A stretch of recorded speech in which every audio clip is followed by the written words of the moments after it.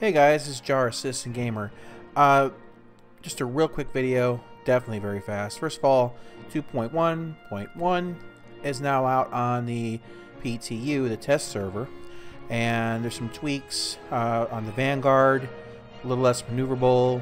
Uh, front gun, the big Gatling gun, is a lot better. Uh, it doesn't overheat as quickly, and uh, big change that they shrunk the radar ball I'll put a picture up here. I have uh, split up a nice before and after for you.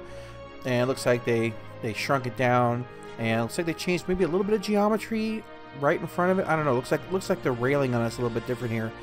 And uh, they'd be better off, though, just putting a 2D kind of radar somewhere there. I, the radar ball is just, I'll just keep saying it, it's, it's not a good thing.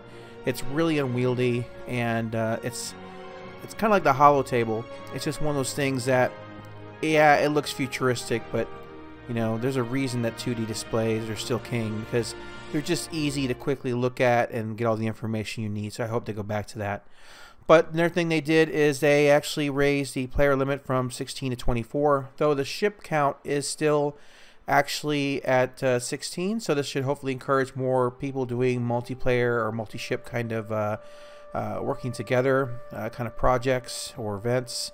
And uh, other than that, yeah, it's uh, it's looking pretty good. They got some stability stuff going on in there, and uh, give it a quick download and give it a whirl.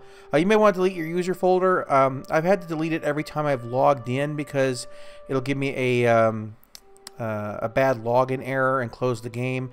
So every time I've logged into the PTU so far today, before I've logged in, I've had to delete my user folder, which is a little obnoxious, but you know it doesn't take that long to set things back up uh, to a usable level.